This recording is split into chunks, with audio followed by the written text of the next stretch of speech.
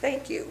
And so item number three on the agenda is to review, um, ask if there's any request to revise the agenda, and then just to approve the agenda um, as it has been sent out for um, notification to the public. I'm looking for any blue hands on Zoom from trustees, and I don't see any hands raised in the boardroom. So we will go ahead and um, stick with the agenda as it has been sent out. So number four is to approve the minutes from the Board of Trustees' regular meeting of September 22nd, 2020. Are there any requests for any modifications to those minutes? Not seeing any hands raised in either place. So is there a motion to approve the minutes from the regular meeting on September 22nd? Moved by trustee Oldperson and seconded by trustee Lorenzen. All trustees in favor, either say aye or raise your hand. So my hand is up and I'll say aye, and I'm just counting. Vogel is yes. Okay, and trustee Decker, I don't see a hand up or down. Okay, thank you. So the motion passes and the minutes have been approved. Now we come to the time for public comment on non-agenda items. Those are items that we won't be talking about as an agenda item tonight. We ask, well, it's got a little more complicated, but we ask folks who want to make public comment on non-agenda items to state your first and last name, add any spelling if there's an unusual spelling to either your first or last name. If you represent an organization, identify that organization. And we ask that you keep your comments to three minutes. And with that, um, two things. If you raise your hand on Zoom, then a blue hand will show up in a certain queue order. So we will call on folks as blue hands go up on Zoom. So I'm just looking to see, are there any hands up? Okay, so we don't have any hands up at this point, and there is um, written correspondence that's, that is included in our agenda. So now we move on to our student trustee reports. And I'm excited to introduce everyone, including on Zoom, and in listening in the, in the community, to our new student trustees. We do have two returning trustees from Seeley Swan. I'm not sure if they were able to attend tonight because connectivity is a little bit challenging. But we have um, Jaden Bede from Big Sky High School, Waverly Winter from Hellgate High School, Malone Ingram from Sentinel High School, and Daisy Kalina from Sentinel High School, and Mariposa Ristow from Willard Alternative Program. And so we had an orientation at 5:30, so I'm going to switch the order. So Mariposa, do you want to give your report about Willard first? And I'll let you know if you can get a little closer to your microphone. It was a little hard to hear you during the 5:30 section. So want to tell us what's going on at Willard? Is, is this good? Can you hear me? It's still pretty quiet.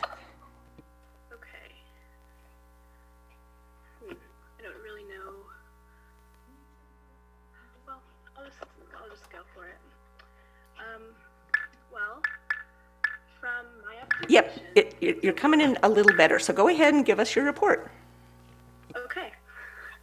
Willard uh, has been running super smoothly these past couple months or month, and everyone seems to be respecting the rules in place um, to keep everyone safe. Um,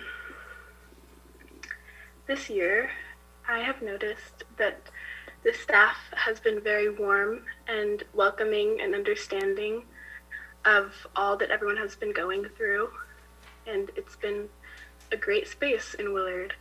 Um, I feel that the staff at Willard treat me as an individual human being rather than just another piece of the system or the student body as a whole. And for that, I have a lot of appreciation for the program of Willard. Thank you.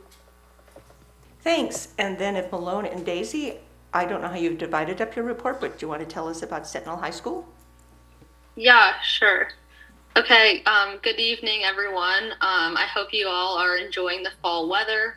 Once again, my name is Daisy Kalina, and I'm here today with my co trustee, Malone Ingram, also from Sentinel. At Sentinel, we're continuing to progress through our block schedule, and as of this week, we're beginning our third block. This fall, Sentinel has been busy with many events, socially distanced, of course. For all for our fall sports updates, uh, boys golf has had an exceptional season this year, taking first at state. Last Friday, we won our homecoming game um, against Hellgate, 64 to zero. And this Thursday's game against Helena will be the senior night for the football team. On Saturday, uh, girls soccer played Helena. They lost, although it was still a close game. And our boys soccer team tied Helena. Uh, our soccer teams are now gearing up for playoffs this week. And then for cross country at the seven of seven um, meet, also on Saturday, the girls took fourth while the boys took first place. Cross country has one more home meet before we head to Kalispell for state. And now I'll turn the rest of the report over to Malone. Thank you.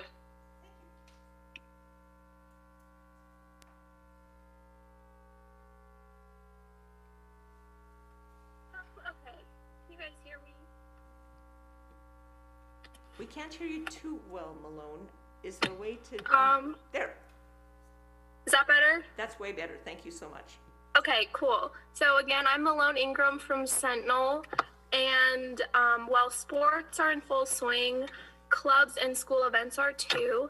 Last week was our Spartan Pride Week, so Sentinel students wore their purple and gold, which led up to our homecoming football game on Friday. Sentinel's clubs have been very, very busy as well. Student government is designing a senior shirt for the class of 2021, along with our senior legacy project and other exciting school events. Key Club has elected officers and is ramping up this week. Amnesty International will hold its first meeting next Tuesday. Theater Club has begun and is looking for new members to join. The National Honor Society held its first meeting last week and is looking forward to a great year of volunteering around the community. Speech and debate practice was scheduled to start last week, but in hopes of having a more normal season, it has been pushed to December. Model United Nations is starting up again next week in preparation for a remote conference in mid November. And our school newspaper, the Spartan Scoop, will, will release its first issue next week. Um, in other news, Sentinel seniors took the ACT last Tuesday, and juniors will be taking the PSAT this week. Um, thank you so much for your time tonight and hearing about what Sentinel has in store this year. Daisy and I look forward to continuing the year as Sentinel trustees and working with the board more, as well as engaging in our school community. Thank you. Great to hear about Sentinel. And let's now hear about Hellgate High School, Waverly. Hello, I'm Hel- I'm Waverly Winter, and I'm from Hellgate. Um, we started off the school year really well. Everybody was really happy to be back at school. It was a bit of a transition to get used to the block schedule, but everybody is really liking the 10 a.m. start. Um, uh, a lot of people uh, in sports are getting in full swing, and just today, the girls soccer team won 5-1 against Flathead in their playoff game, and now we're gonna play on Saturday either against Billings or Bozeman. And tonight, also the boys soccer team played against Big Sky, and they're playing against them right now, and they're probably just getting finished up with that. Last Friday was a football game against Sentinel, and we unfortunately lost. But that was our first um, football game that our sports event that students could go to, and we socially distanced, and it was a really fun night. Um, and cross country is going to state soon, and golf finished up their uh, season. As for clubs, Save is right now is working on finishing up our greenhouse, working on how to collect compost and recycling, and working on fundraising. NHS earlier this fall um, uh, weeded and cleaned our courtyard, and now Hellgate's courtyard looks great. And now we're working on new fundraising ideas and um, not fundraising, but volunteer ideas. And student government is working on how to make the is working on making bulletin boards around the school to decorate, and working on how to support sports COVID safely.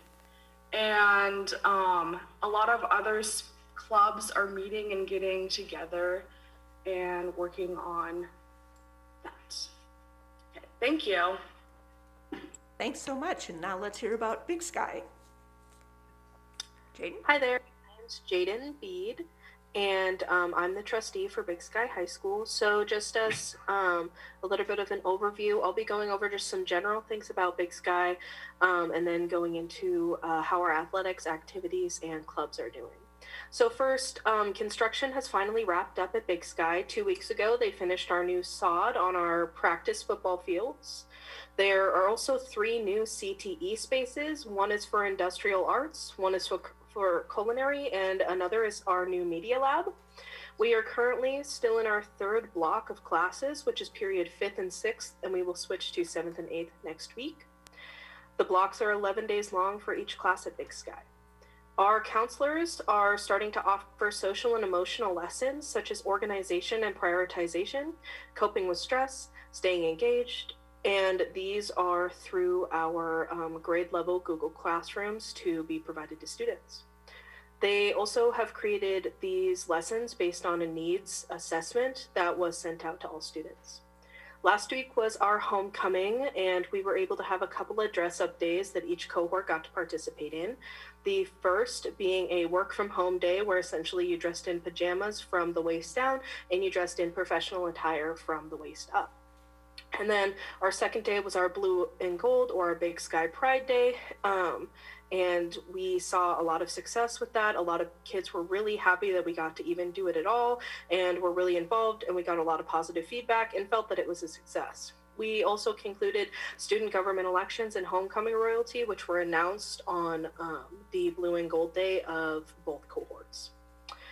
Then uh, we, as we're all adjusting to the new schedule and various challenges that come along with it, we are now offering a zero period to support students academically.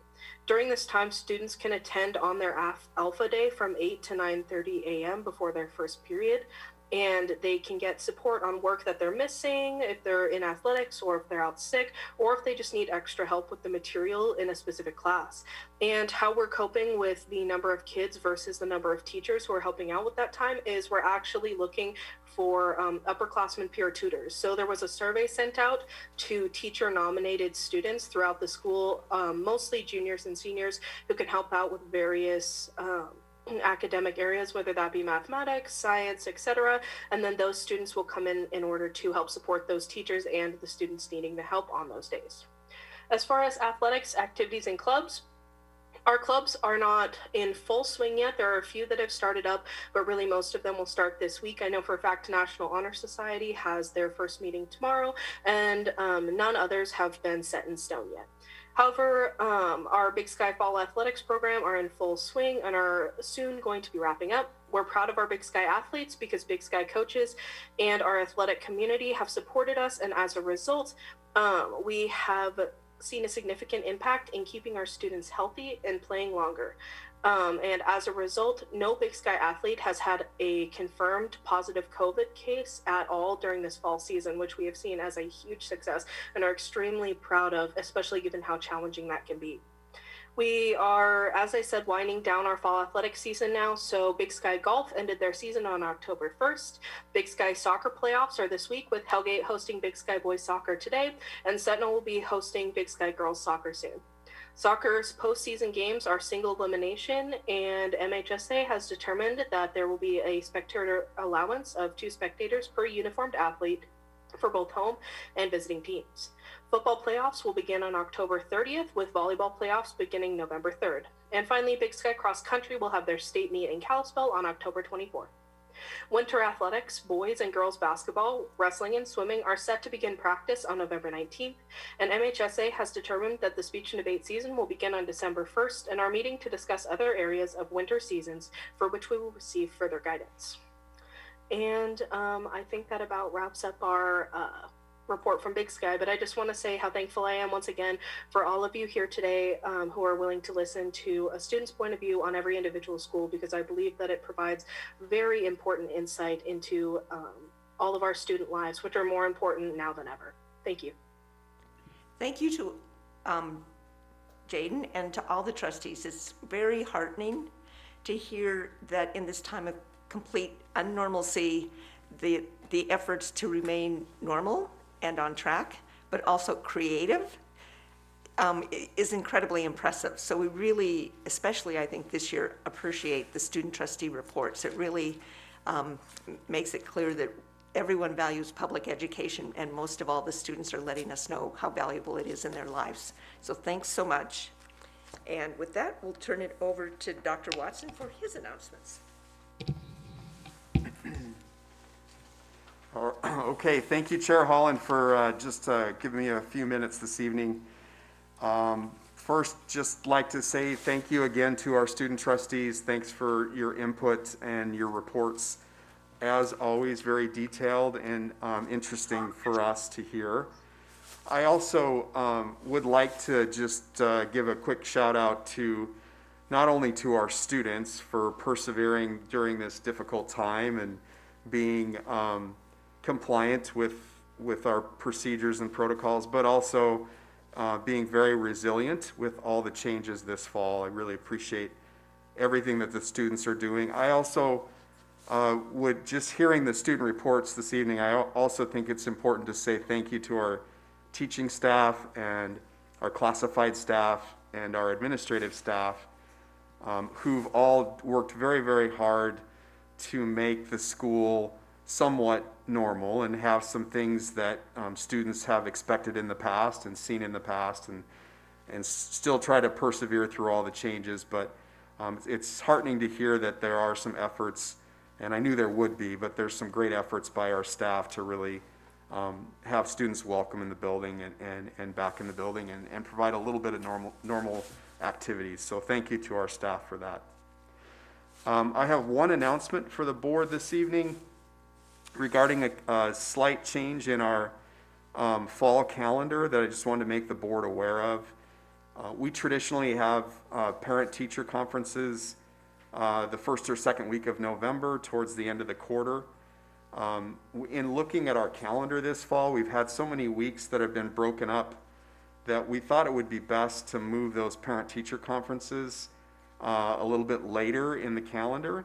So um, we've moved those parent-teacher conferences off of November 12th and 13th. We've moved them to the two days before Thanksgiving break.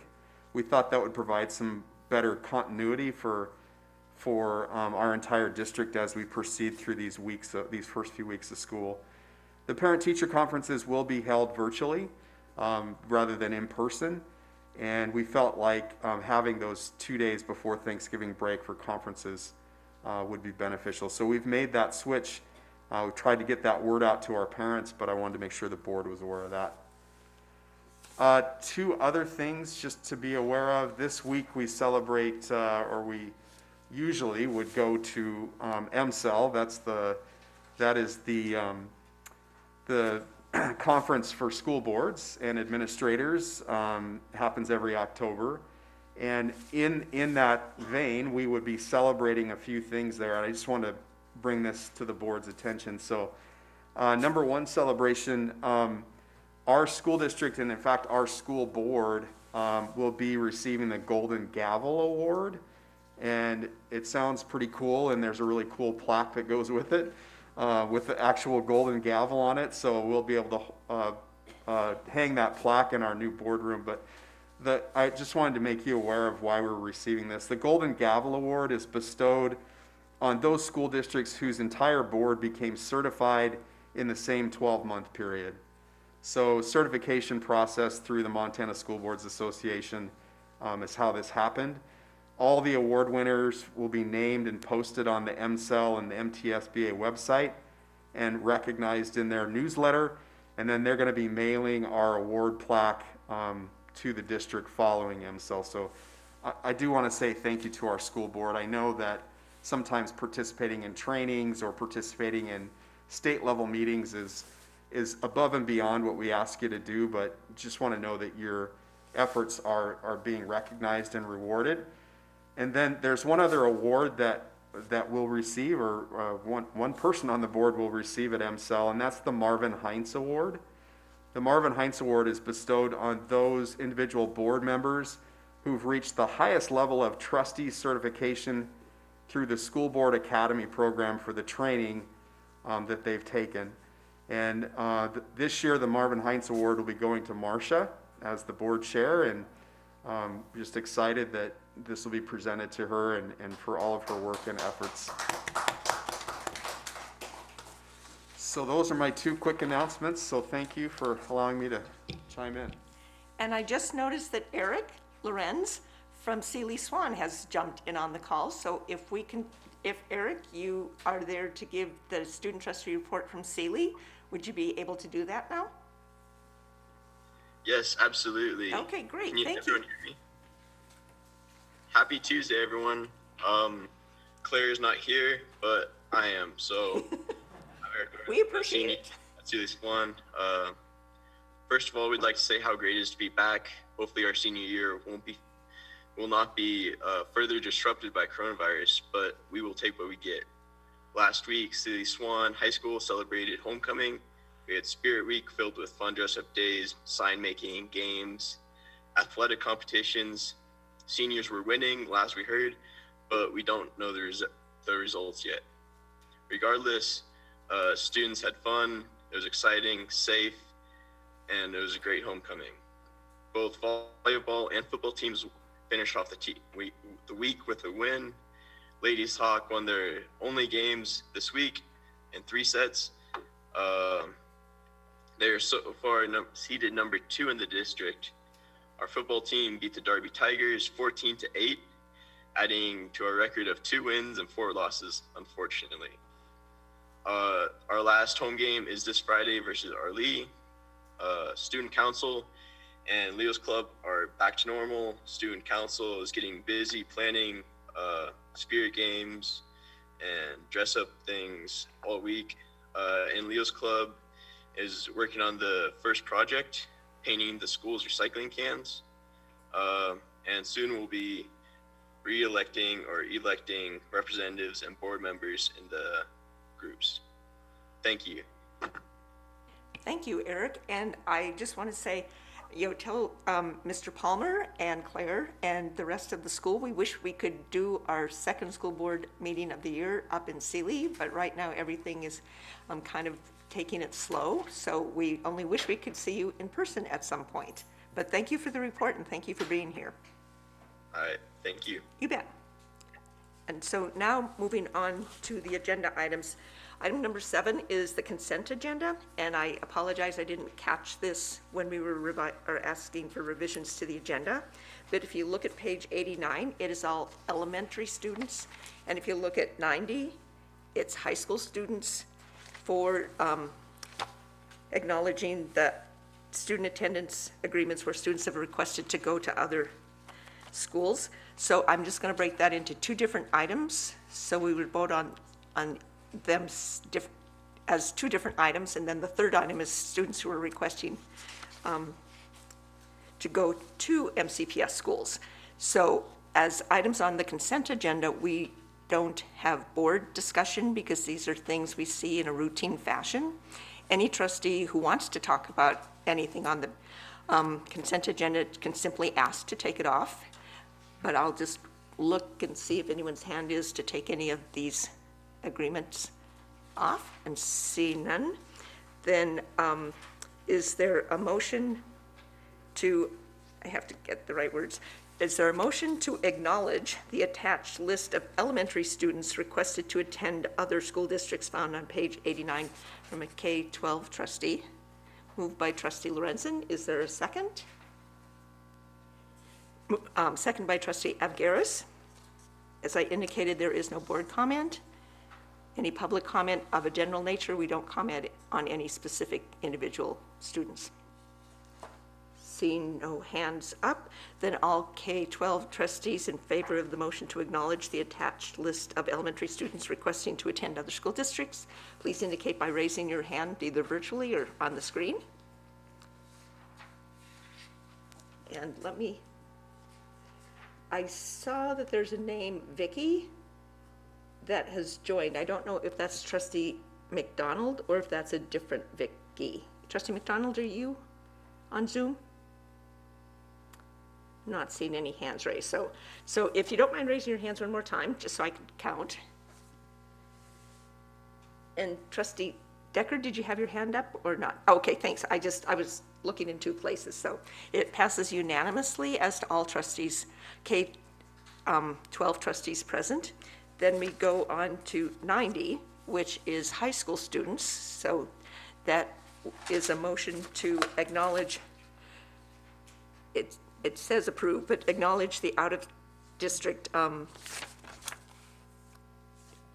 the request to attend other schools by high school students. Is there a motion to do so? Moved by trustee Avgaris. Is there a second? Seconded by trustee Lorenzen. Again, we will not be commenting on it. Any public comment of a general nature? Not seeing any hands up. Then all trustees in favor of the motion to acknowledge the list of students, high school students requesting to attend other school districts, please indicate by raising your hand. And trustee Vogel? Vogel is a yes. Thank you. And so that is unanimous as to all trustees present. Then we move on to the second item under the consent agenda, which is to ratify out-of-district attendance agreements, and this also is an elementary action item. And the recommendation is that the trustees ratify um, the attached out-of-district elementary attendance agreements. Is there such a motion? Moved by trustee Olperson and seconded by trustee Avgaris. Again, there won't be board discussion. Any public comment of a general nature? Not seeing any hands up. Then all K-12 trustees in favor of the motion to ratify the out-of-district attendance agreements found on page 91, please indicate by raising your hand.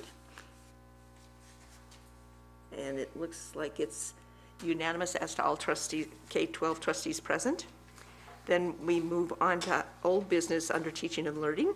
As we had discussed at prior board meetings, we will be bringing back on somewhat of a regular basis updates on the impact that COVID-19 is having on the district. And so with that, I'll turn it over to Dr. Watson. I think you have some others also going to be providing information. Yes, uh, thank you, Chair Holland. Um, We've got uh, about six items that I just want to update the board on this evening. And um, two of them, I'm going to ask for help from, uh, from two people that are on Zoom. So Amy Shattuck should be on Zoom. I think I saw her earlier. Amy is our Federal Programs Director. And then the other person that I think is by phone this evening with us is Ginny Haynes, and Ginny Haynes is our Special Education Director. Ginny, are you on with us? Maybe? Hi, this is Ginny. I am on by phone. Thank you, Jenny. I'll be with you in just a second. So um, I'm going to share my screen. So for those board members that are in the room, it should come up up there. But for those that are at home, you should be able to see it. Um, let's see. You should be able to see it on your screen at home. So this is a link to um, to a spreadsheet that is on our website. So under our um, general web page, there's a link on the right-hand side that says COVID-19. If you click on that, it takes you to this page, our COVID-19 page. At the very top link up here is MCPS district-wide COVID data. This is something that we are updating every week. Um, you can see that the numbers are sorted by school. These are summary data on confirmed cases. And then what we do is we break it down by sort of by grade level band. So we've got K 5, 6, 8, 9, 12, as well as by staff, the numbers for staff. So that number 41 represents all the confirmed cases um, that we're aware of from 826 to 1011. And I say that because generally speaking, uh, we are made aware of cases of students or staff that are presently working in our schools or attending schools. If a student is in the MOA, the online academy, we wouldn't necessarily know if they're positive or not positive because they're not present in our schools. And so the health department has been uh, giving us information about positive cases when kids are, are in schools. I wanted to point out just a couple of other data pieces that we've added since last time I showed you this. Um, One of the questions I frequently get um, regarding our positive cases is, do we have any idea where they contracted or where the transmission occurred? So we added this cause of transmission by, this is a total percentage of all the cases. When, and, and this is determined through case investigation, when our health services supervisor talks with the individual case um, and asks some questions about, you know, where they might have trans, um, where the transmission might have occurred. So, um, again, this is through investigation and interview with the confirmed case. So we estimate about seventeen percent of our cases uh, were caused by transmission through a school activity or, or at the school. Eighty-one percent transmission outside of the school, so something that happened outside of the school, either a positive family member or a positive friend that they were with. Um, and then about two percent of unknown cause of transmission. Uh, the other thing that I, I frequently get asked about, so even though it shows 41 cases, that's since the beginning of the school year. So people frequently ask me, well, you know, what percentage of that 41 are currently active cases? And so we, we did an estimate on that as well, looking at the case data that we have. So out of the 41 cases, we estimate, and this was as of Sunday, so this, it gets updated every Sunday, but as of Sunday, we estimated we had about 12 of those cases that were still active. Um, So what, one thing that, um, that I am going to continue to report to the board too is the active cases in the county. And this can be found on the county website. And they actually divide it by active cases per 100,000. And I took one more step. I calculated the active cases per 10,000 in the county. And I'll tell you why I did that is because if you add our students and our staff, and you take out the MOA students, but if you add students and staff minus the MOA students, we're, we're at about 9,000, just under 9,000. So if you consider that our school district is sort of a subset or uh, sort of a subset or representation of our county, we have about 9,000 people in our district, um, and it's sort of a subset of the county. So I, I wanted to show this just for comparison's sake. If we look at the active cases as of Sunday, we had about 44 active cases per 10,000. So um, if, if our district is a microcosm of the county, we, we could expect up to 44 active cases in our district. Uh, but we're not seeing that right now. As of Sunday, we were seeing 12 active cases. So um, I don't know what that means. I'm not, I'm not an expert by any means in this um, epidemiology of this. I just want to point out to the, to the board that, you know, all things being equal, we could expect as many as 44 active cases based on the number of active cases in the county, but uh, we're not seeing that currently. And we'll continue to update that every Sunday. The number of active cases will change for us, and then the number of active cases in the county will also change as the days go on. So that's all available on our website. Uh, we'll continue to keep that updated. Wanted to point that out. The other thing that um, I'll report verbally too is I, I mentioned this at the last meeting. In addition to the confirmed cases, we also have a lot of students and staff members that are considered close contacts, either because they are close contacts to a confirmed case in school, or they're a close contact to a confirmed case outside of school. And we're looking at that every week. For about the last two weeks, we've averaged 100 students or staff, 100 students and staff together, um, total, averaged 100 um, that were considered close contacts. And that's across all schools, all levels. That isn't localized at any one school, but district-wide, we have about 100 students and staff on, um, on that close contact list. And we've been averaging that for a couple weeks now. And I report that out because that does impact our abilities to, you know, move forward with education. So when you have a student that's on quarantine because they're a close contact, that means they're not in school, obviously. And so we have to do um, some extra things to keep them up, you know, going on and, and keep them updated with, with school. So we're going to keep tracking that as well, but as of the last couple weeks, we've had about 100 students and staff on, uh, on that close contact list.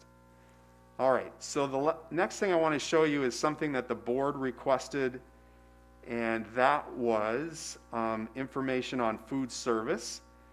So um, Stacy Rossmiller is our food service supervisor and uh, done a, just an excellent job gathering this data for me. Really appreciate, because she's got lots of other stuff going on right now, as you can imagine, but I asked her to do some comparisons with this August and last August, this September and last September. So once we finished the month of September, it helped to uh, have this data done. And so what she looked at, this is total um, meals served. So it's not numbers of students, it's total meals served during the month of August.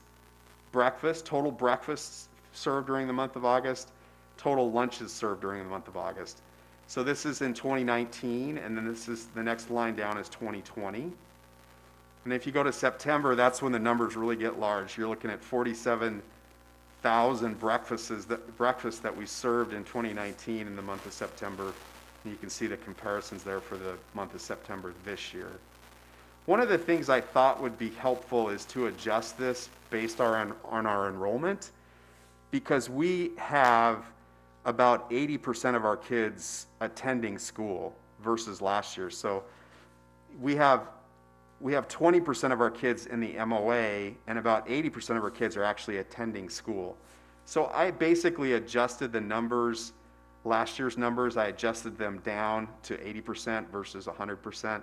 So it did um, it gives you a more realistic picture like you know currently we have about 7400 students attending school not 9,300 students. So I adjusted that down just sort of for an apples to apples comparison. But we are um, serving fewer meals this year, both in August and September, both breakfast and lunch. And then the last thing I um, asked her to look at was our bus service. So you remember we served um, meals by bus in April.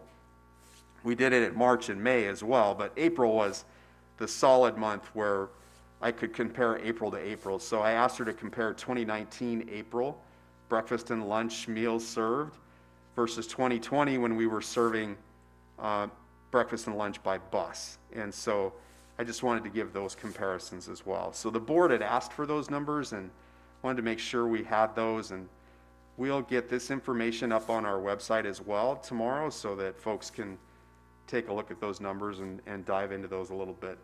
The next thing I wanted to talk about was mental health services, and then I'll stop and pause for questions before we move to the STAR data.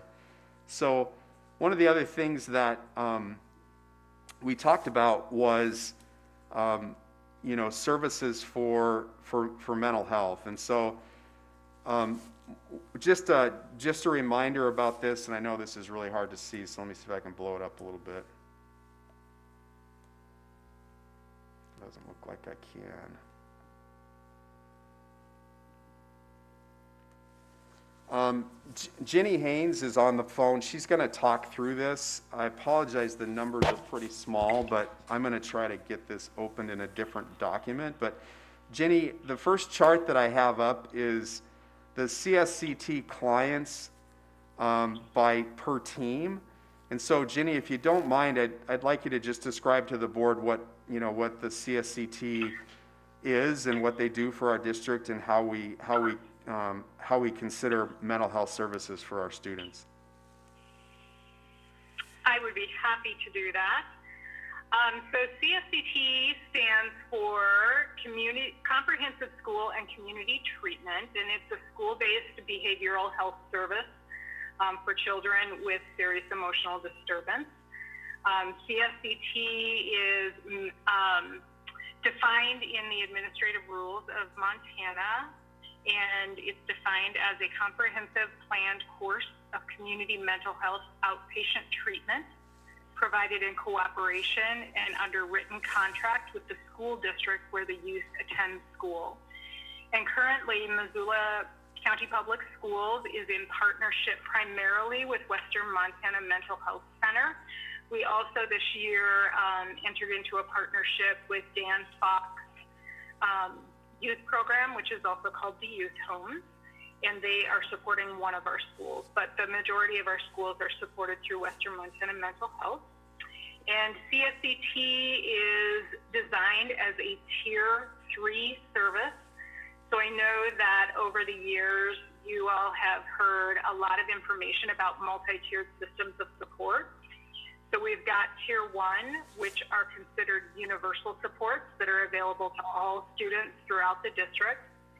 Tier two are supports that are more intensive for students who are showing um, possibly some needs in certain areas. So tier two becomes a little bit more individualized and based on um, what individual students may need.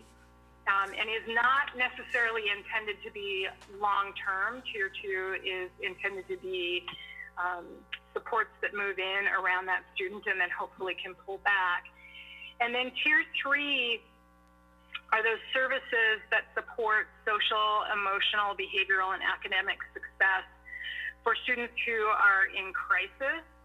Um, with regard to CSCT, the students must also meet the criteria for serious emotional disturbance through um, DSM-5. So right now, um, we have CSCT services at school primarily. They can also happen in the home or in the community. Um, CSCT services currently serve youth through from kindergarten through um, high school. We have individual services, group, and family therapy. Our CSCT staff provide behavioral interventions and other evidence and research-based practices. And right now, our teams in our schools are comprised of a licensed mental health practitioner and a behavioral behavioral specialist.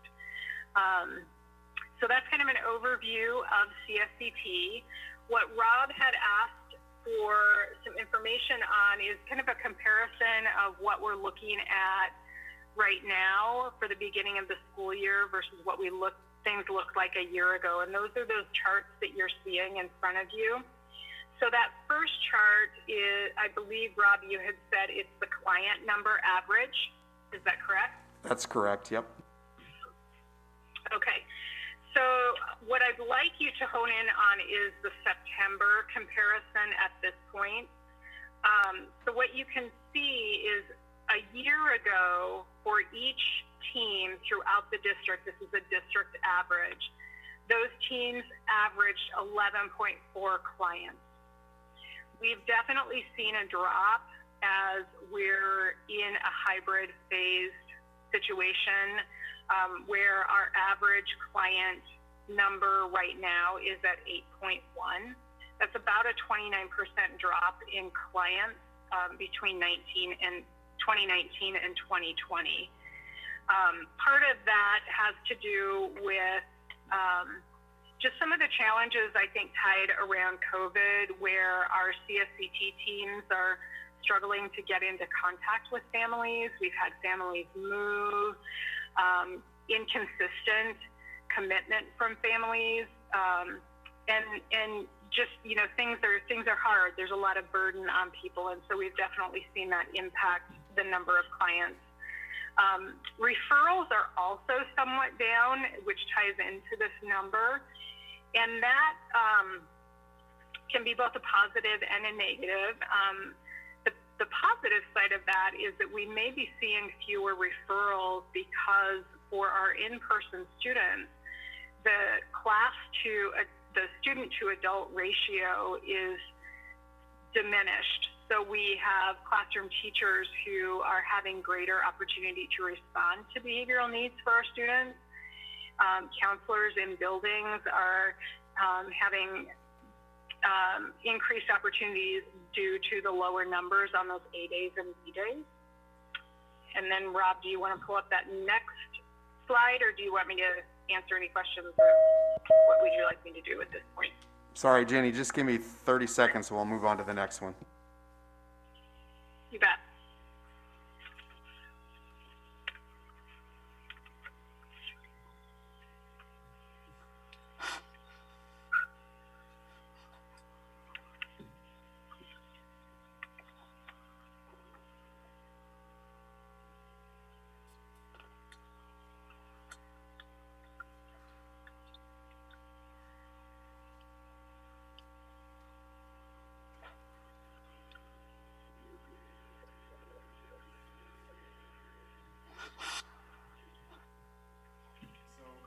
So just for the board's uh, um, guidance here, so the previous slide was the average number of clients per CSCT team, and Jenny may have mentioned this, but we, we have CSCT teams in every school, and some schools have multiple CSCT teams.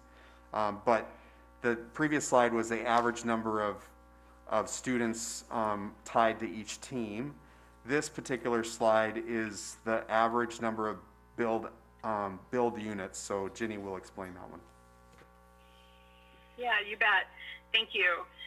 So a billable unit is defined as a 15-minute time frame, and for each client, a team has up to 720 billable units that can be um, provided for that client.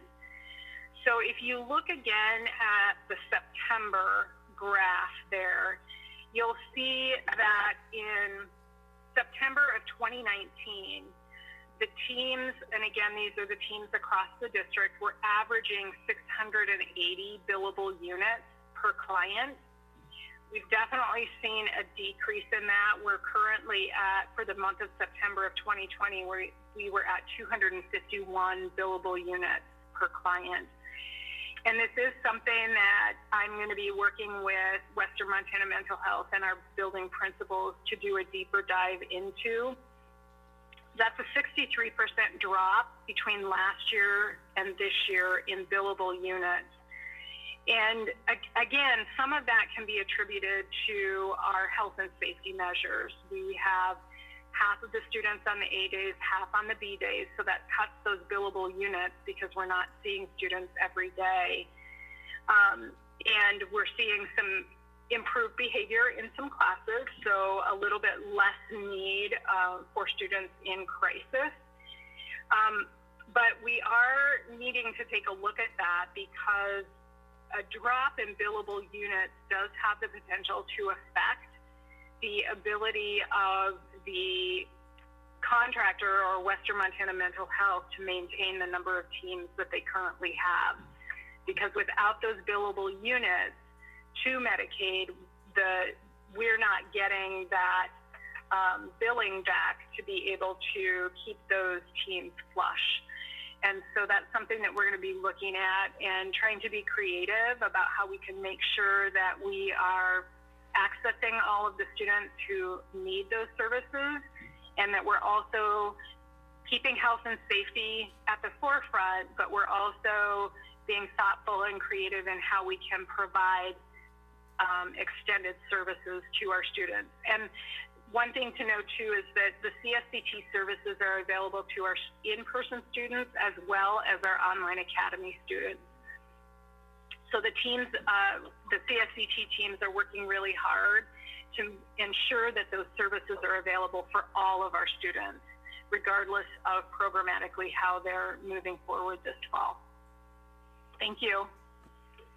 All right, so for the board, we've talked about the confirmed case data, uh, food service participation, and mental health services uh, participation. I want to pause there um, just because the next item is our STAR, our academic data, and, and Amy's to um, need to share her screen in a second here to talk about that. But I just want to pause on those first three to see if there's any board questions for either myself or Ginny.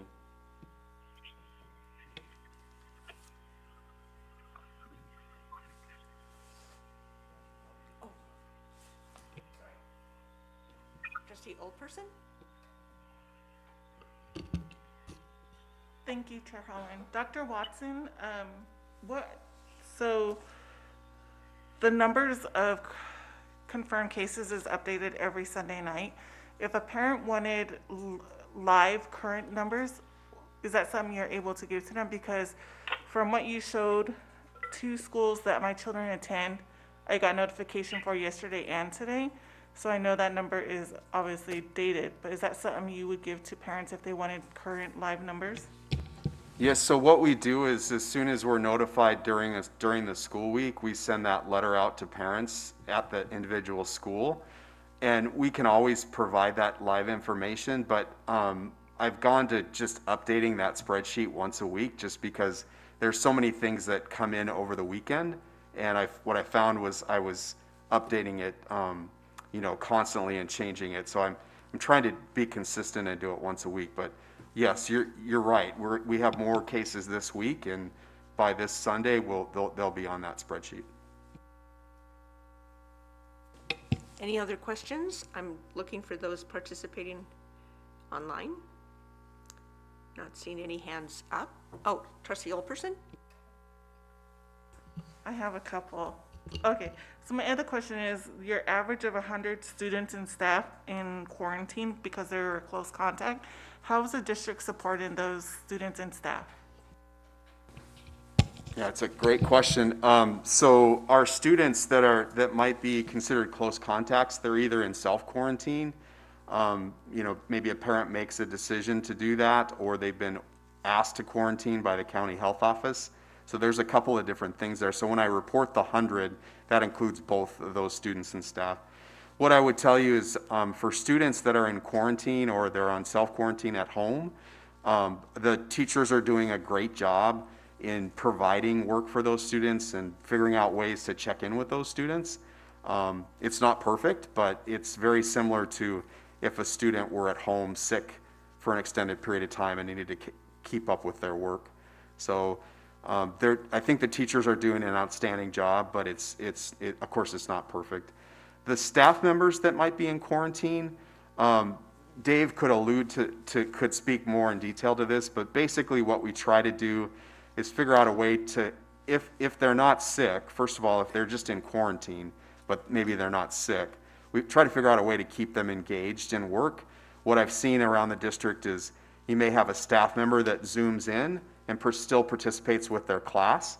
Um, so we have another adult in the room and the staff member is on Zoom and they're still participating as much as they can, assuming they're not sick. Obviously, if they're at home sick, we don't, we don't want, you know, we don't want them put any extra stress on them. But if they're just in quarantine and they're not sick, we try to figure out a way to keep them engaged with the class. Uh, for a couple of reasons, it really um, helps the students to see their teacher and, and keeps the teacher engaged as well. So that's generally our accommodations for students and staff that are on quarantine. Any other questions on th- these three um, reports? Trustee Old Person? And then trustee Decker. Okay, and then my final question I had, while you're giving your report, I was taking notes. But in the first slide, it showed seventeen percent, I think is the percentage for school activity. And I do know that one of the student trustees talked about, um, MHSA for winter sports, but where it was actually pushed back a few weeks to December seventh. Do you, as a football mom, how, um, do we see that changing? I think overall, in general, like uh, extracurricular, do we see that anything changing in that with the county, with Missoula County Public Schools? You know, you know, I don't see anything changing with regards to regulations or rules or schedules. What we have seen in a couple of our high schools is we've seen uh, entire teams that have been on quarantine because they're considered close contacts. So what that has caused is a delay in their schedule, a postponement of games um, until the team is back off of quarantine. So that has happened, and in fact, um, when I talk about that, those 100, 100 kids a week or 100 kids and staff members a week that are on quarantine, that includes some of those um, sports teams where an entire team has been put on quarantine. Trustee Decker? Thanks.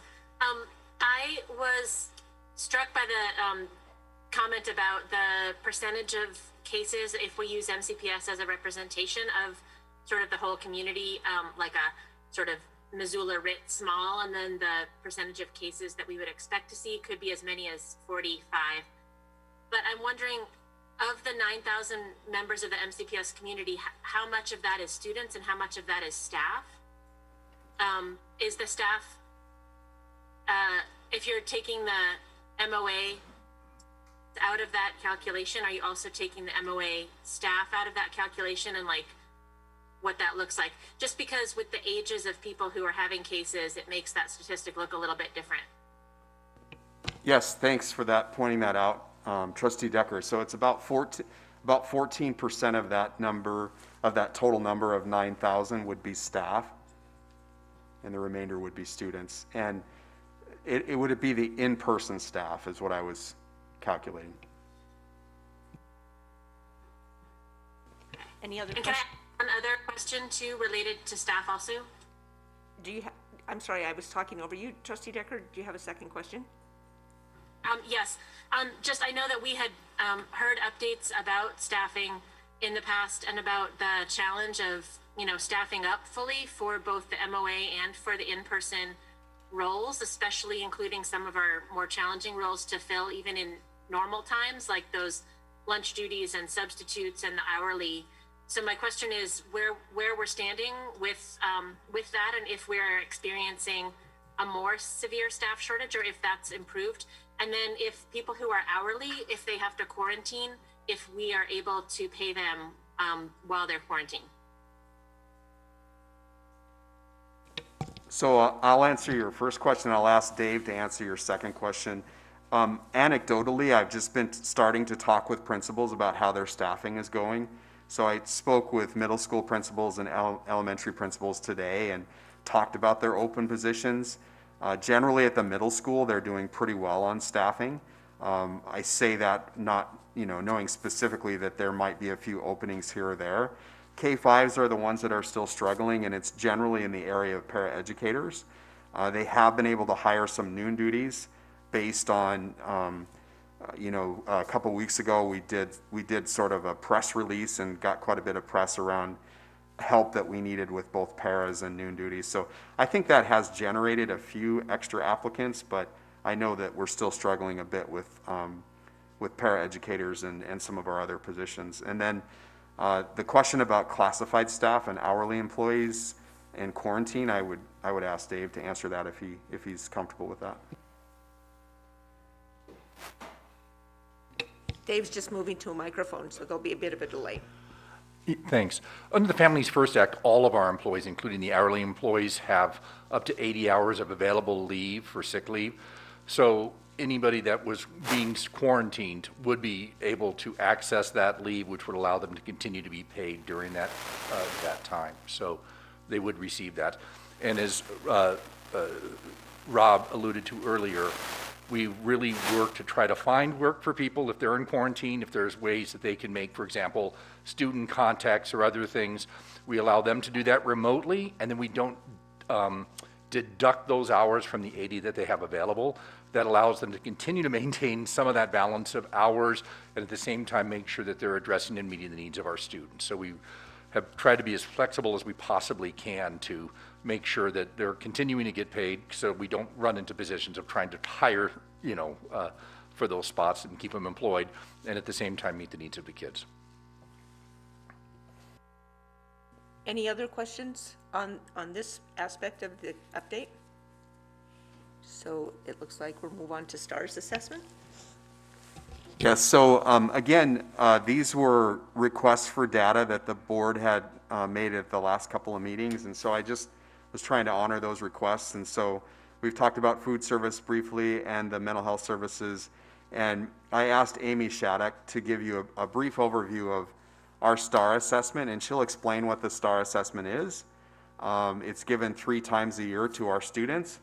Uh, We did not give it last spring because our students were not in school. Um, But we did give it this fall, and in fact, we also gave it to our MOA kids this fall.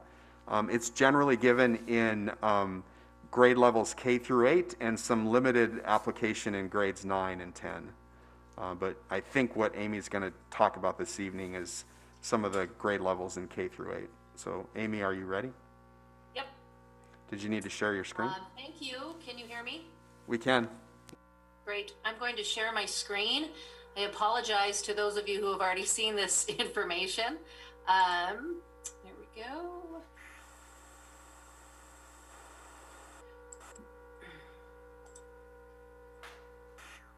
Okay, so um, as Rob um, has talked about, um, Star 360 is really our first uh, piece of, of data that we're able to look at this this year. Um, the seniors this year uh, that were supposed to take the ACT in the spring actually took it last week. And so we have some more uh, data coming in for our district. Uh, Star 360 is, is a tool that we use to assess um, early literacy uh, for kindergarten and first graders, and then reading and math. Uh, like Dr. Watson said, uh, second grade through mainly eighth grade and some in ninth. Um, this is given three times a year. Yes, in the fall, winter, and spring.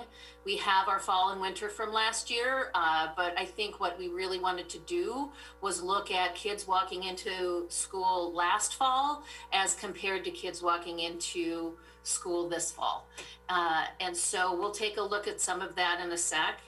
The early literacy assessment really is for those young, young um, kindergarten and first graders who we're looking at their beginning literacy skills and and moving them towards independence.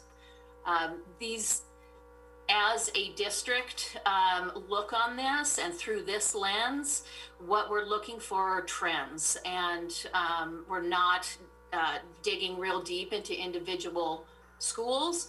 That is their job, but as a district, we're really looking at different trends.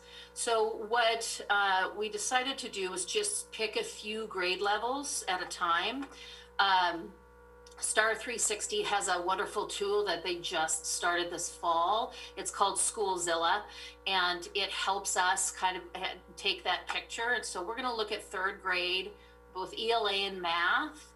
And then I will pause and, and ask for some, if people have questions about it. We're going to look at sixth grade ELA and math as well. And then early lit, we'll put kindergarten and first grade together. So um, I'm going to Um, move us on. Amy, I'm this sorry, is Marcia. Can you remind everyone what ELA stands for? Because there are so many acronyms in public I- education. I apologize. There that- are a lot of acronyms. Um, English Language Arts is what ELA stands for. Thank you. So the very first uh, little bit of information that we're going to look at is the star reading proficiency rate. And we're using our district benchmark. Our district benchmark is the 40th percentile, um, thinking that 50% is our average. And so 10 points um, either either side is within that average range. Um, I know that some other districts have them set it at uh, different uh, averages, but uh, we have ours set at 40. So if we're looking at, um, this is a really nice tool that helps us look at, at different years as well. We, we started the STAR um, assessment in 2017 with limited participation. 18, 19 gave us a lot more information and then last fall and this year will be, will be really important to watch the trends. So I'm going to start off with third grade. And again, this is reading. And, and another thing I think we have to um, remember is that this is just a snapshot, just a dipstick of where these third graders are at this moment in time. And um, so that's why it's really important for us to do three different measurements. So if we're looking at our third graders, and this is third graders across MCPS as well as MOA, um, last fall, our third graders walked in at a 57.3% proficient, at or above. Now, I know that this is comparing a little bit of apples to oranges because this group this fall is, of course, in fourth grade. So, what the district is, what we are trying to do is just look at trends. So, um, our kids walked in at about 57%.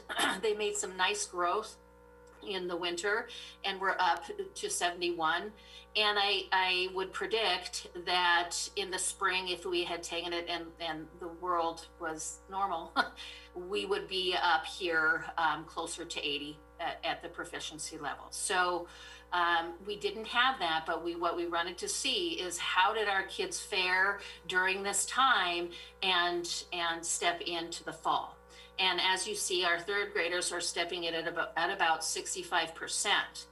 What's important about this is that we have to look back at previous years as well.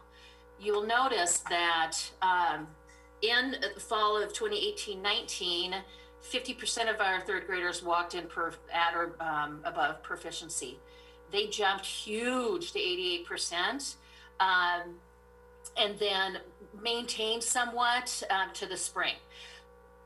We do see a lot of, of um, growth from that fall to winter. Sometimes we see a little bit of a drop off, but mainly we see it either leveling off or higher.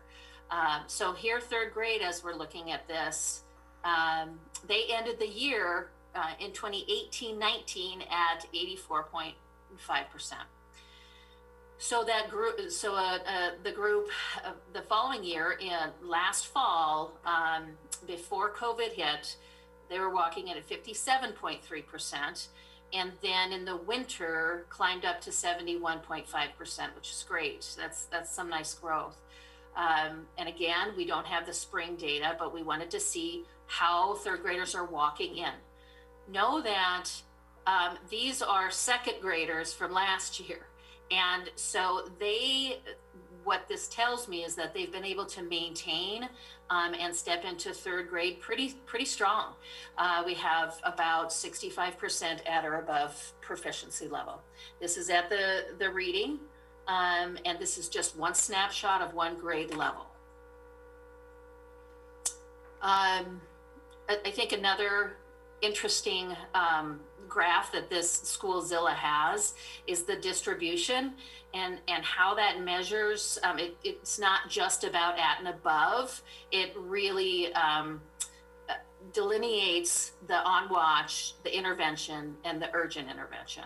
And so this is that information that individual schools go back, they do some deep diving into the data, find out where the, the weaknesses, the strengths, and, and implementing um, interventions for those kids who, who need it or enrichment for those kids who are way above.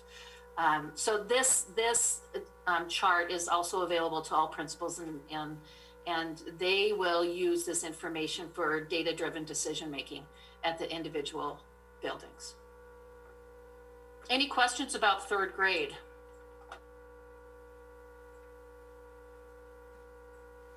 I'll ask Paul to see if anyone online of the trustees has questions. It looks like not, so no questions right now, Amy. Thanks.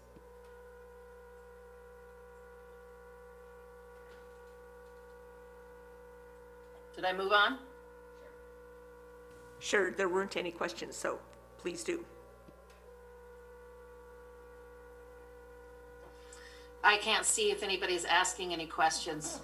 I I'm, can only see I'm maybe not talking right into that microphone, but there weren't any questions. Can you hear me? Yeah, I can hear you now, yes. Okay, so Okay, great. So I'll, I'm going to move on because I don't want to take all this time, but um, I'm going to go to sixth grade, now, knowing that this is that transition year um, for a lot of our uh, our fifth graders moving into sixth grade. This is a, just a snapshot. So uh, the trends look very similar to third grade, where they're walking in. Um, fall tends to be that lower number. That's that baseline that we're looking at. They make some enormous jumps um, in the winter and tend to either level off or go higher for the spring. Um, so in the fall of, and this is what we were looking at, in the fall of, of tw- 1920, um, sixth graders were walking in at 66.5%, jumped up in the winter. Uh, and then this, this fall, we saw a little bit of a drop um, for sixth graders. Uh, I, I can't give you the reason why that happened, but, and it's not a huge significant drop. One of the things that uh, I think is important for you to know is that for this uh, assessment in the fall of last of 1920, there were 650 kids who were tested um, and and hit, did the assessment in the fall. This year we have 560 uh, kids, so we have a, a, a drop in kids as well as a drop in in um, proficiency. Uh, to look at the how it's distributed, I, th- I found this really interesting. Where these kids, as a principal, when I was looking at information like this, what I wanted to see were those kind of fringe kids right here, where where um, they're on watch, um, the interventions, and what can we, uh, this is that tier two type of, of interventions. What can we do as an individual building to bring these into to the at or above benchmark? Um, and then, of course, we have urgent intervention for our about 9% here for the sixth grade. So I know that is what middle school is working on right now. Um, they will be doing data driven dialogues with their teams um, and coming up with an action plan.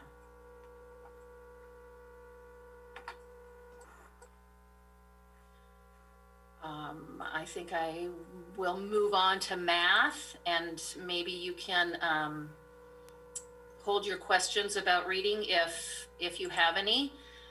So this is math. I'm going to do the same thing. We're going to look at um, third grade overall. Last fall, our third graders walked in at about a uh, 57.6% at or above, and that was 622 kids.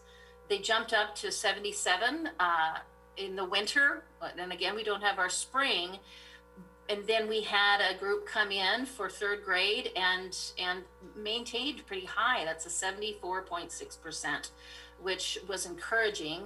If we look at um, at this information it looks fairly similar to to the ela and reading where they're starting at 61 big jumps maintain and then in the fall. Um, of course, there are different group of kids, but a, a lower um, starting point, baseline. But this tells us a lot of information to get to this point. Uh, so this is where they're walking in uh, the fall. What's going to be really interesting is our next uh, data point, and that'll be in January, the winter window.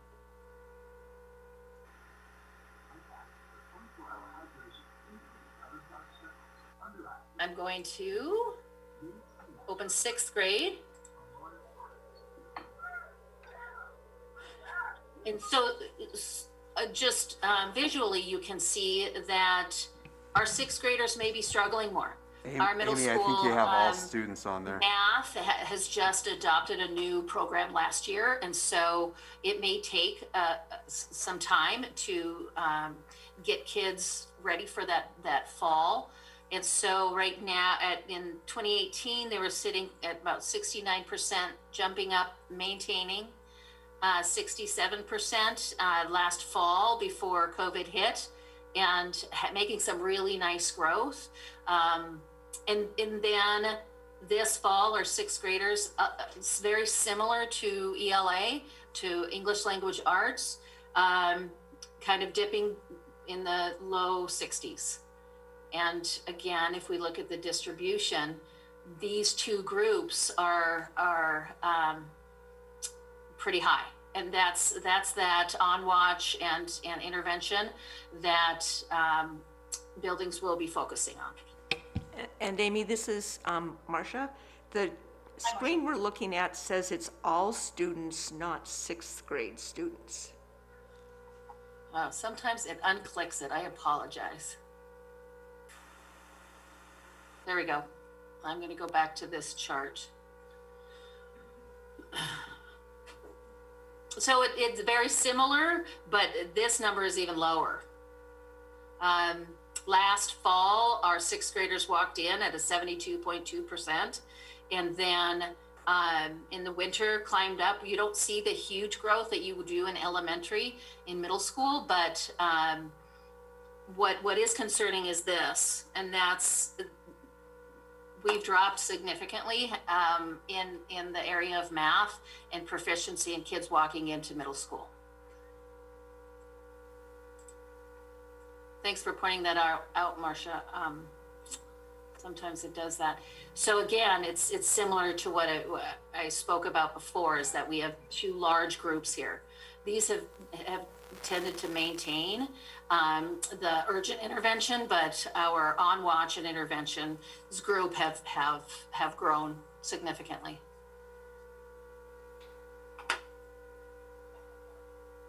Okay, I'm going to stop before I go to early literacy. Are there any questions about this? Any questions from anybody? And oh, it looks like it looks like there are no questions from trustees. Great. Again, early literacy um, is kindergarten and first graders. And so um, I think if we look at these together, like, what we're seeing is that um, our, our, what was that? Our kids are maintaining. Um, they walked in at about 60.7% and then um, jumped up. You, you see some huge jumps in, in, in kindergarten and, and first grade. Um, but and I, I'm sure we would have seen some large ones as well come the spring. And then they are all walking in at about 60 um, percent. And, and so that's encouraging. Uh, and that's at the early literacy. So that that is looking at um, early literacy skills. Uh, it, it, has some math thrown in there, so it's a little mixture. But really, what you're looking at um, is is those early literacy skills.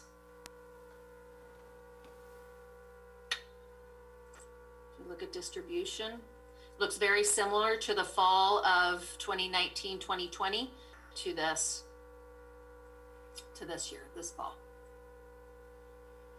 So that's just, again, that's just a snapshot of three different grade levels. I can dig into to multiple grade levels, compare them um, side by side, but I just wanted to give you guys a, a good kind of um, umbrella look at the district. And then um, I, I meet with the individual buildings to create an action plan within their PLCs to move the, that, that needle up. Any questions? Any questions? Did you see any? I, it looks like not. It was very thorough and it was a pretty fascinating snapshot. So thank you for sharing that. All right, and the last thing I just, uh, as I put in the agenda, I wanted to give an update about the MOA and spoke with uh, Ray Cooper. She's our MOA principal uh, this afternoon, and uh, she reports that MOA is in week six of their instruction. Uh, she also is reporting that it's getting a little smoother every week. They've uh, taken some of the comments and feedback that they've received from students and parents, and they're trying to integrate some changes based on those comments. Um, synchronous instruction, uh, which synchronous means live instruction, so the teacher and the students are on the screen at the same time. Uh, she reports that's going really well. Um, she's done some drop-ins on various classes and uh, is really impressed with what she's seeing with MOA um, instruction. Uh, they are following our schedule, so they will also have parent conferences in November. Um, and then, as I reported earlier, they also took the STAR assessment. Um, so the numbers that Amy just reported includes any MOA students that also participated in STAR. So that's it. I, I chatted about our confirmed cases, uh, our food service numbers, mental health. Thank you, Ginny, for helping explain the mental health services and the participation. Uh, Amy did a great job with STAR, and I wanted to give you an MOA update. Um, the purpose for just sharing this information is frequently in, the, in these discussions that we've been having about our, what our in-person schedule looks like, these are some of the questions that have come up, so I thought it was important to to get the, the board up to speed on those topics. So thank you for your interest and your participation. So, based on this, it's an information-only item. Are there any um, overall questions from any trustee about the information we received? Oh, trustee Sturbis, I see your hand is up. Uh, yeah, I would say I really appreciate all this information. Um, but what I want to know is, uh, I don't know if the task force is working on this or whatever, but our motion uh, at the last meeting was that we would move from the hybrid model when cases were either uh, declining or steady. Um, and so I still haven't seen any information about what metrics we're going to use to decide to move from the hybrid plan.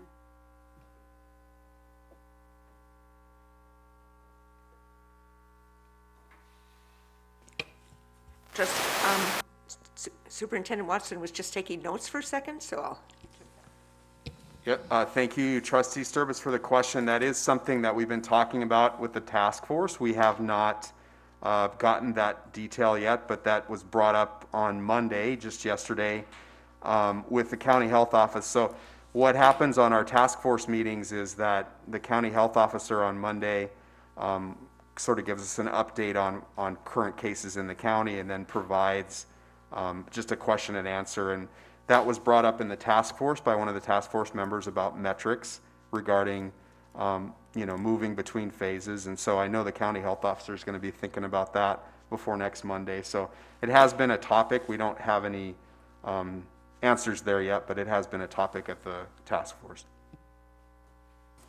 any other, whoops, any other questions for Dr. Watson?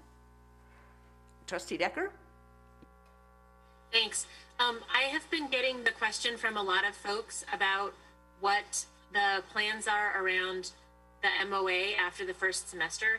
Um, and I've been sharing the information as best as I know it, but I thought it would be good to share it in this forum. If you would be able to let people know where we are right now, even if that answer is we don't know until we know about more funding from another source.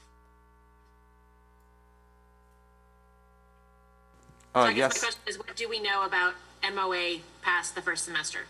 Yeah, thank you. I also receive that question um, quite frequently, and we, we don't have an answer yet after first semester. Uh, We are um, still um, looking at funding sources and, and seeing how we can make that work, um, but we don't have an answer yet after first semester. Any other questions from trustees? Seeing none, I don't know if any trustees have any board comment. Not seeing any hands up. It's information only, but we typically ask for any public comment um, on information items as well. Currently, I'm not seeing any hands up. Are you, Paul? No. Okay, so with that, we'll return to the agenda for the next item, which is under new business for finance and operations, and it is to approve the Seeley Swan Environmental Review Checklist and the Environmental Review Form and Resolution 2021-3S. And I have to say, I think there's maybe two people at the table that would understand this. One's an engineer and one's an, an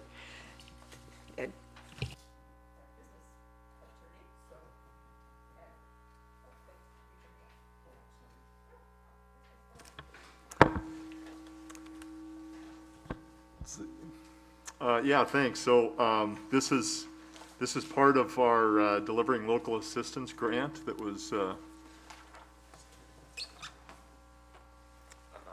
this was awarded through the Department of Commerce. Uh, it's, uh, used to help fund our, uh, piping project up at Seeley Lake. And, part of that grant, um, that, the funding of that grant is subject to the Montana Environmental Review Policy Act.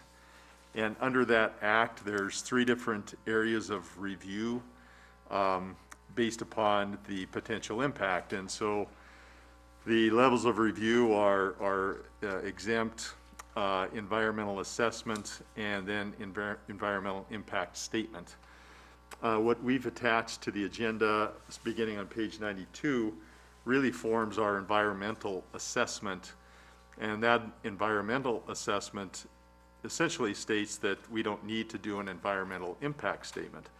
Um, So I, I'm going to jump around a little bit, but if you go to page 101, um, under question three, in this environmental review form is incorporated within the environmental checklist, and, and this form was, uh, uh, and the checklist were prepared uh, um, by Burley McWilliams with assistance from our uh, construction engineers, Holting.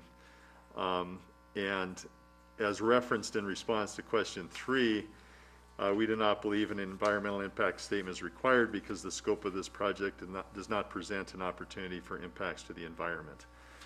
Essentially, all of the checklist questions that begin on page 92 are efforts to uh, determine uh, and ascertain impact, environmental impact. And you'll see if you look through the checklist on the, on the the left side for each question, there's a letter, and the letter reflects um, a response, and the letter N, which is primarily the response, is, is no impact.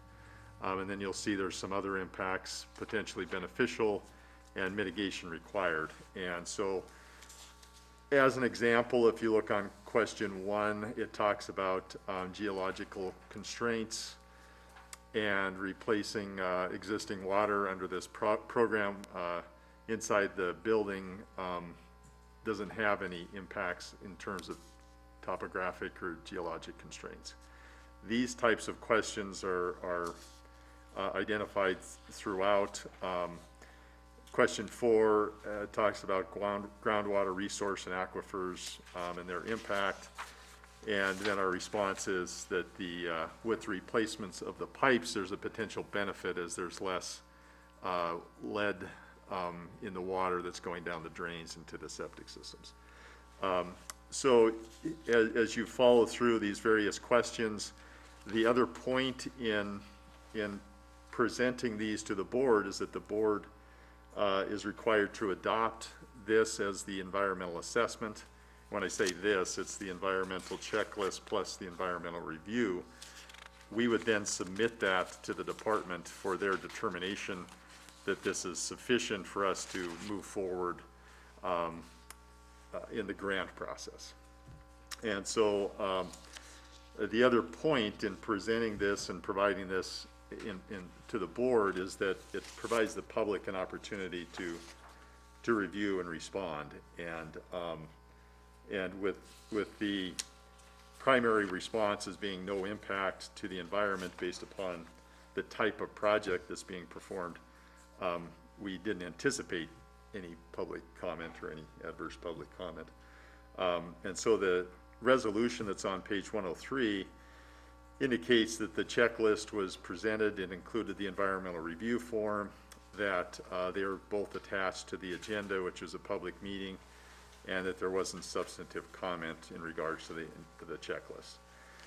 So, uh, presuming there's no um, uh, public comment in opposition, we would submit this uh, to the department as our environmental assessment.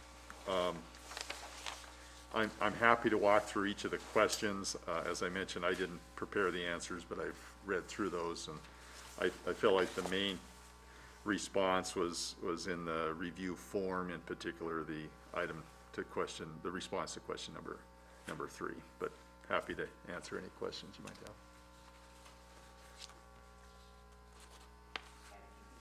Oh, sorry.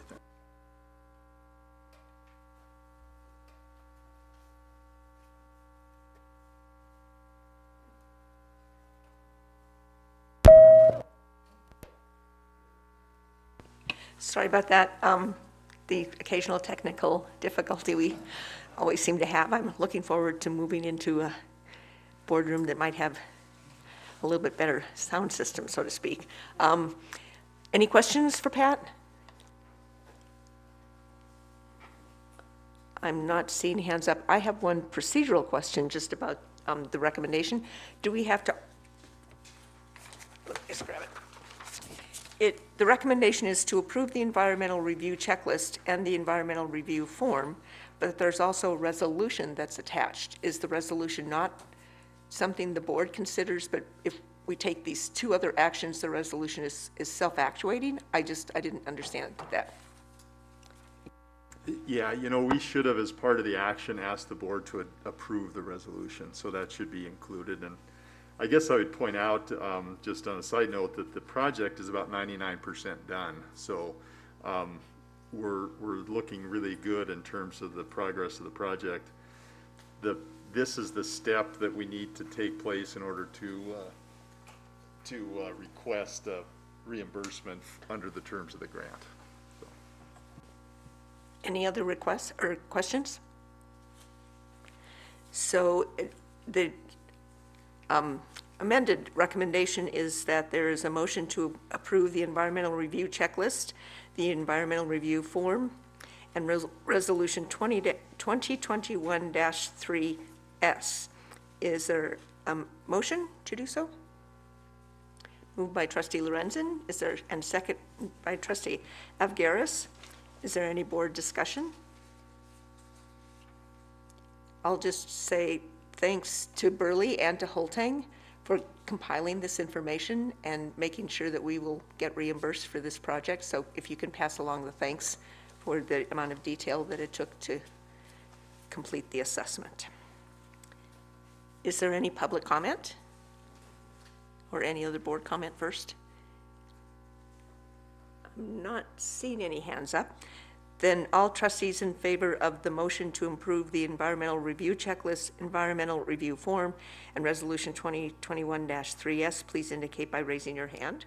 Or in um, Ju- trustee Vogel's case, would you um, indicate by voting yes or no? Vogel is yes. And so that passes unanimously as to all trustees present. Now we come to approving transportation route mileage changes, and it looks, we- see this throughout the school year, basically. Is that correct, Pat? So you're going to give us um, an update on why this particular route is, route changes are coming in? Yes, thank you. So this is, this is essentially uh, the mileage for the routes that are approved by the board. Then we bring it to the Transportation Committee um, for approval tomorrow, and then that's submitted to, to the OPI for calculation of the reimbursement, the state and county reimbursement. So this reflects our first semester of mileage for each of the routes listed, uh, beginning on page 104. Um, and the, the 104 and 105 are regular transportation routes, and then pages 106 and 107 are special education routes. And this is for all the routes that we're currently operating. And um, the, on page 104, the highlighted two routes represent the, the Seeley routes. Um, So that's why they're, they're, they're shaded about uh, two-thirds of the way down the page. Any, any questions for Pat? I have a question. I don't know if there's any way to tell. Has the routes been impacted in terms of running less routes, more routes, or just different routes because of all the changing factors in terms of more, you know, some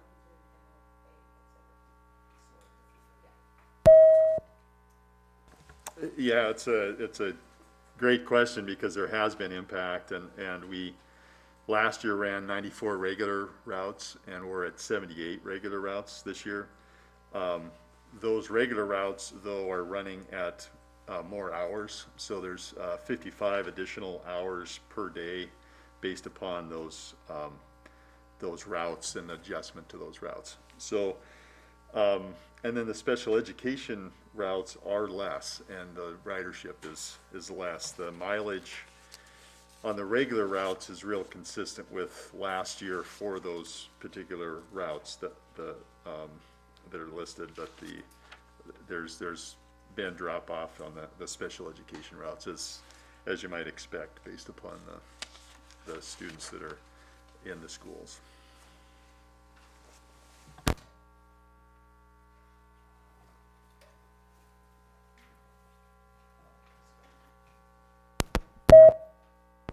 Okay, I'm back on.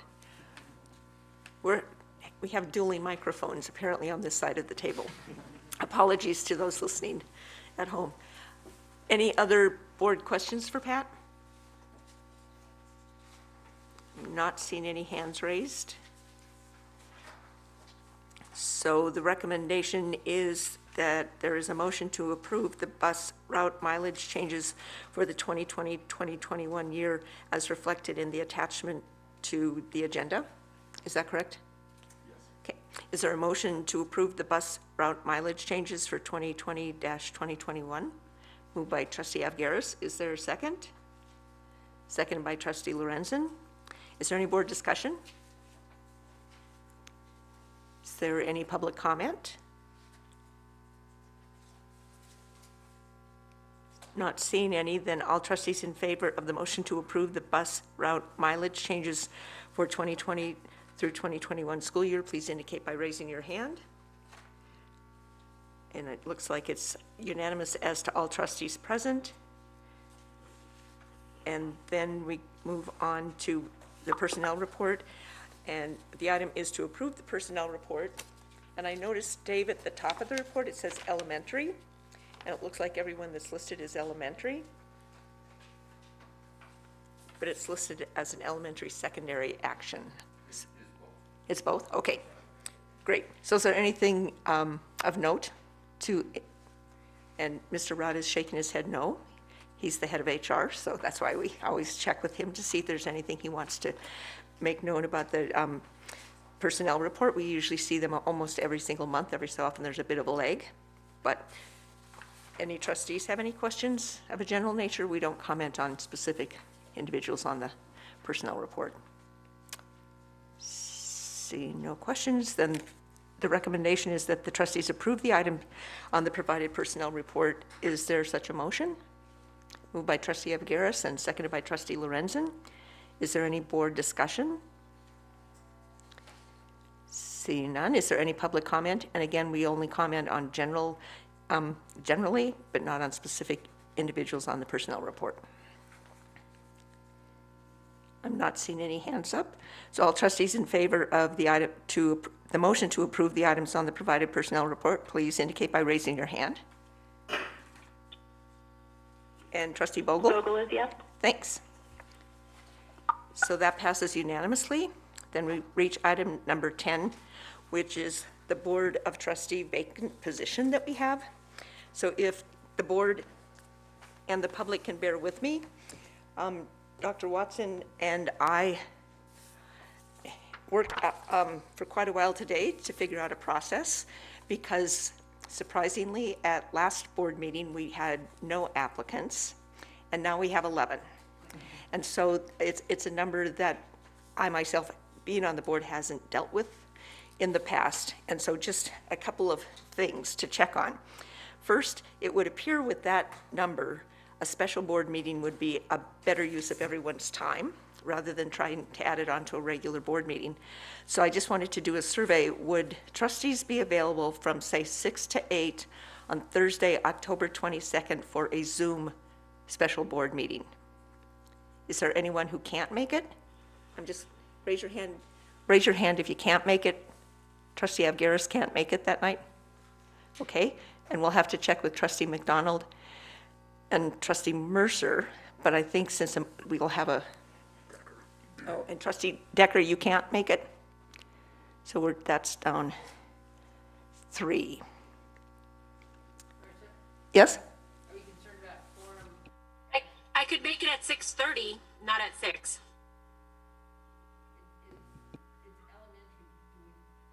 Do we need to be careful of having an elementary board quorum? No, I checked with um, both state MTSBA and um, our local counsel, and it's a, an all trustees vote on it matter. So it, we would need a quorum of the board, which would be seven. So um, if we shift it to 6:30, we would gain one more board member. Would that be okay with everybody for Thursday, October 22nd at 6:30 instead of 6? I'm just checking in, I don't see Chair, or trustee Sturbis indicating she couldn't make that time. And trustee Wake, can you make that time?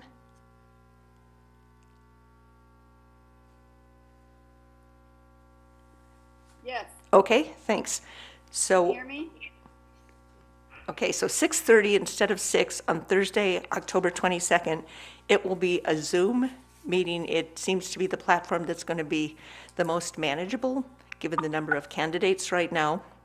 And so just to walk everyone through what's happened in my past experience about when there's an- a vacancy on the board, we've had anywhere between about six to five to five to six questions because there's only been usually two to three people who were being asked questions and we would, you know, be meeting in person.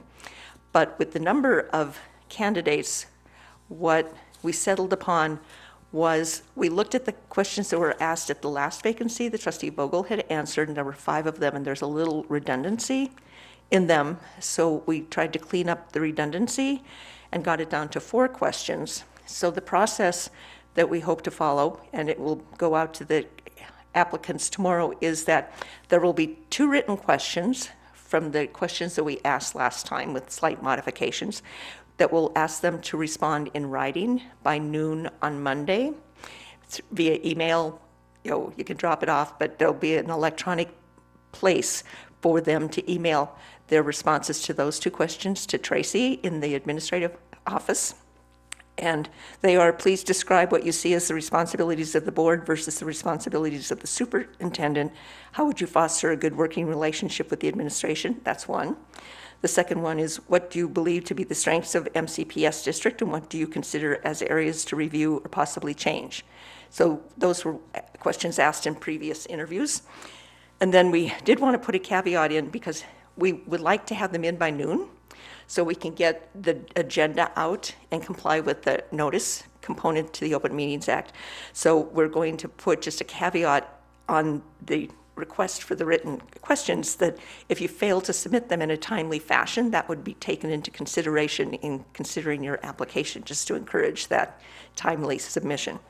And then we've got two questions for the in-person meeting and they are what skills and abilities, including any prior board experience you have that would serve you in the district well in your service as a school board trustee.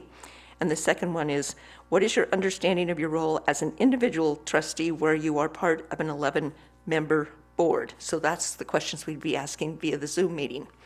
And then just to be um, it- we couldn't think of a fair way alphabetically, front, first name, last name alphabetical. We're, we are literally going to have Tracy put all the names in a hat or something and draw them out, and then we will give notice to the candidates that this is the order in which we will be asking the questions. And then we will also do it in two blocks, like Block A for five to six people, and then in the second hour, Block B, just so if people don't want to sit for the whole two hours, they can plan, but everyone, including the public, is welcome to be on the Zoom call for the whole time. So unless there's any significant objections from the trustees or any questions of me, that's what we hope to accomplish. And, and all this information will go out to the candidates tomorrow, right, Tracy? Okay. Oh, Trustee Decker? Thanks. My question is, after the candidates have answered the questions in writing and in person, can you remind me what the process is from there as to how they're actually selected from that pool? Sure, that's, as everyone always says, when it is a great question, that's a great question. And so, you know, because we have to comply with the Open Meeting Act, I did talk to um, Megan today, one of our board attorneys, and so the, the, basically, the deliberations happen in a, in, you know, kind of an awkward fashion. But after we've heard from everyone, then before we can discuss the strengths and weaknesses of any candidate, we need a motion on the floor with a second to discuss whether or not whoever is identified should be the trustee who fills the vacancy. And of course, if that particular candidate doesn't get a majority of the votes, then we consider a second motion. Does, does that make sense? So just as we've had, just as, um, you know, the legal rules that apply to all motion, open meeting acts, we need some action on the table before we can hold a discussion or take public comment on it. It doesn't mean that that motion necessarily is going to pass, but it starts the process by which we make a decision. And so we will continue to deliberate in that fashion until a candidate has been identified and received um, a vote, a majority of the board's vote to fill the vacant seat. Anyone else have questions or, okay, I see trustee Decker's hands up. Trustee Lorenzen? I, I guess what you just described seems really random. And so I guess we can't have more of an open conversation of like pick a top three or anything. We just have to go straight to putting a name on the table before we can talk. I suppose if someone wanted to put a motion on the table that we consider that these as the top three candidates and move on from there, I, I will double check with our legal counsel, but that could be a vi- viable alternative. It's just, you know, I didn't think of that because we've never had more than a handful of candidates before, but I will confirm with Bia or Megan if that's an option, because I know that's in part what we did with the superintendent search too. So, And then is there any way we can, it just seems really hard to listen to eleven people and then pick one. You know, there's no time, uh, it's not like, we- there's nothing we can have ahead of time, right? Or is there something we can have ahead of time? well, that's why we decided to break out the, I mean, normally we would ask, be asking at least four questions. So that's why we've asked the candidates to answer two of the questions in writing, which all, everyone, the- they'll be part of the agenda, so the public and we will see them. And that seemed to be a, a- a more efficient use of everyone's time, both the candidates and us. So, and yes, I, I'm, Their letter of interest too. And, it- yeah, so what will be, and whatever they submitted as their letter of interest, some people send in letters of interest and resumes and kind of short articles, then the two answers to the written questions is what everyone will have as an attachment to the agenda. And so I wanted to also give all the candidates the questions they'll be asked in person, so they can be thoughtful about their answers, because I know when I've been in an interview where you don't know what the questions are, sometimes you kind of filibuster for a second or two to kind of wrap your head around the how to answer it. And I thought it's much more efficient if you know what the questions are going to be and you come in prepared. And so because of the number of candidates, I, that seemed fairer than trying to um, surprise them with questions, which we haven't done recently, but it has been done on other boards. I checked with legal counsel. So that's why I wanted to do it that way. But thank you for pointing out, there can be other motions made. So does that seem, if I'm not seeing any opposition to that process and the time, then we'll go ahead and move forward tomorrow with this. Not seeing anyone making any comments. And this is just um, procedural information, so I wouldn't normally be taking public comment on this. We would take, obviously, public comment during the special board meeting. And so with that, we've reached the point where we're at public comment again on non-agenda items. And so is there any indication from anyone in the meeting on Zoom who would like to make public comment on a non-agenda item at this point?